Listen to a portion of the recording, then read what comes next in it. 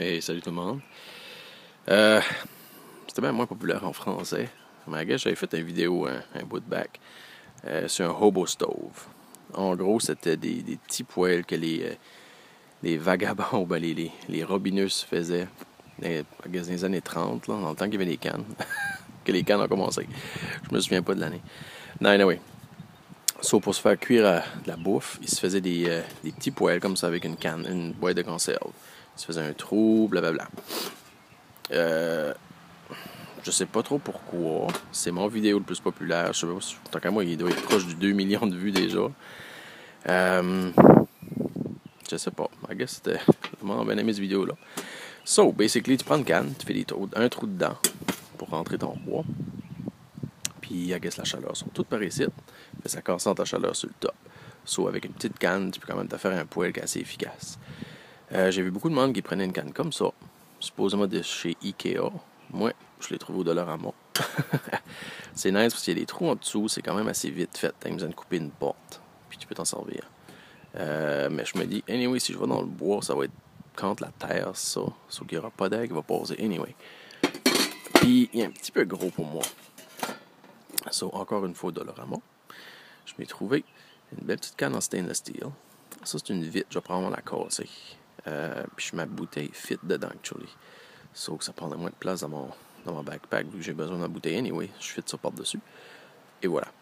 Euh, sur ça, je vais faire, je vais me faire une coupe de trous dedans avec mon, mon petit Dremel. Puis on va tester ça par après, I guess.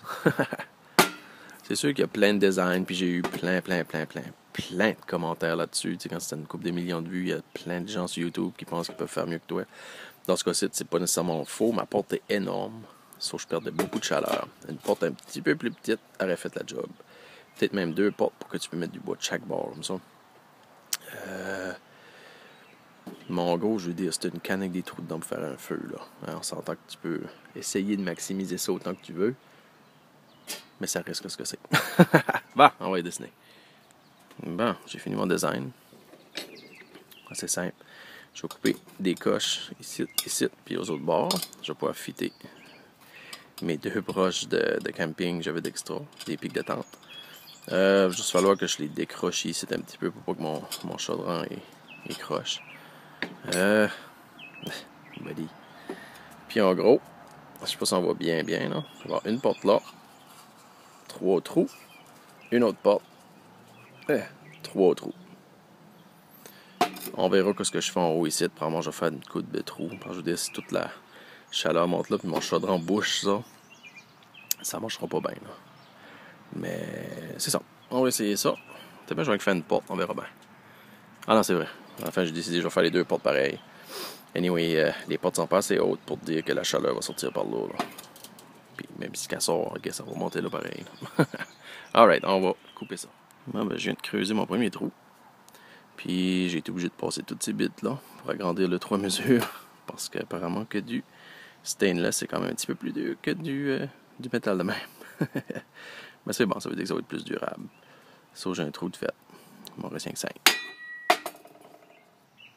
Bon, mes premières cotes sont faites. Désolé, la caméra shake. C'est comme. Euh, t'en as que très bien. Ça shake pas mal. Ça, je ai fait deux finalement. Avec trois trous. Les trois trous, c'était vraiment comme chiant à faire. Pour voir, j'ai plus busté de la machine que je l'ai coupé. Les bits étaient vraiment euh, merdiques, I guess. Euh, ouais, reçu, j'ai rien que fait une, un grand, une slot, comme un grand, une fente à la place. Mais non, ça va bien marcher pareil. C'est pas comme si je vais me mettre les doigts dedans. Euh, la porte est un petit peu mieux. celle-là plus que celle-là. Une Dremel, c'est comme un petit peu, euh, peu difficile à travailler avec ça. On dirait que t'as pas de stabilité ou rien. Mais bon, c'est ça que j'ai comme outil. C'est ça que je me sers de. À ce stade, je vais me rester à faire le top. Puis j'ai encore aucune idée comment je vais le faire. J'ai fait des coches dans le top. Juste quatre coches pour fitter mes, euh, mes petits pics à tente. Euh, j'ai pas fait de trou sur le top. C'est ça, tout de suite, j'ai un gros chaudron. Mais en même temps, les, ça, ça soulève un petit peu le chaudron. Soit est-ce qu'il y a de la flamme qui va sortir ici, puis de l'air. Je veux dire, s'il y a de l'air qui rentre, il faut qu'elle sorte en quelque part, parce que sinon tu vas étouffer ton feu n'y a nulle part à sortir. Puis c'est ça, éventuellement, ben, j'ai une canne en stainless que je peux faire bouillir dessus. mais elle est plus petite. Si je fais les trous le tour, je vais perdre la chaleur pas mal. Puis éventuellement, je vais me prendre un plus petit chaudron aussi que mon gros que j'ai tout de suite. So, je ferai pas de trou tout de suite, mais on va tester ça. Je vais me faire une soupe parce que là, il arrive midi et j'ai faim. Bon, j'ai jamais loadé un petit mini stove avant. j'ai aucune idée comment ce qu'il fallait vraiment que je faisais, mais bon. Je suis pas mal fier de moi, là. Je m'ai mis euh, deux bâtonnets comme ça, cassés en deux. Comme ça, puis comme ça. Puis après ça, je suis stacké. Une coupe de petites branches de même, là. Puis là. Puis après ça, j'ai stacké un paquet de branches dans le milieu. Puis là, ben, je les remplis jusqu'au bout. Pour l'allumer, ben, c'est pour. Euh... Ah, ben tiens, ouais, c'est ça.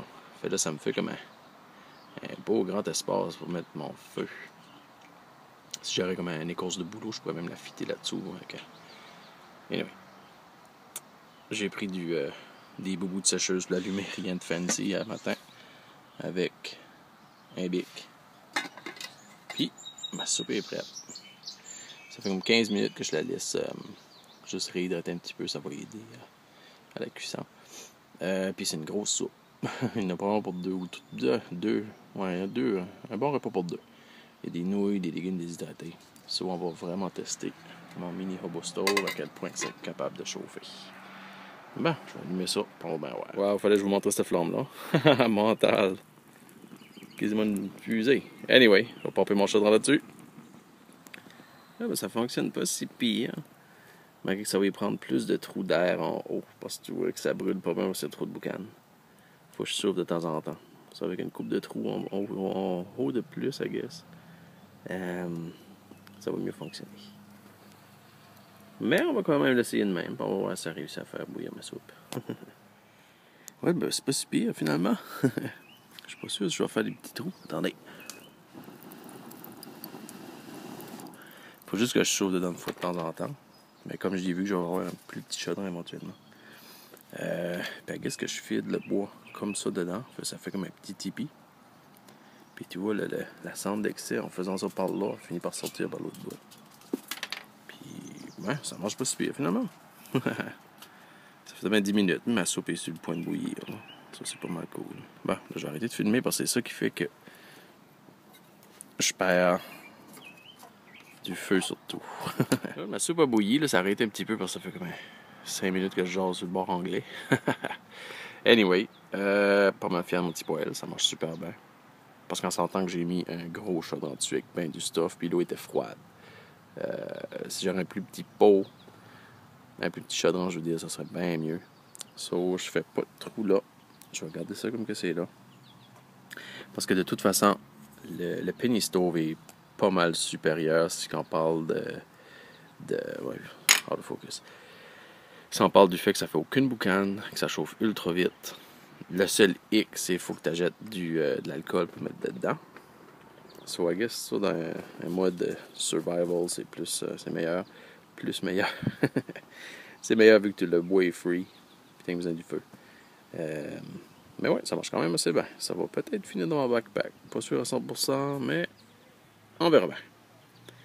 Anyway, euh, c'est ça. Si vous avez des, idées comment je pourrais l'improver, euh, envoyez-moi ça. Puis si vous en voulez, ben allez au Dollarama. Puis ça, ces petites cannes-là. Puis c'est pas mal ça que ça. Et Billy, non, Billy, tu manges pas les petits oiseaux.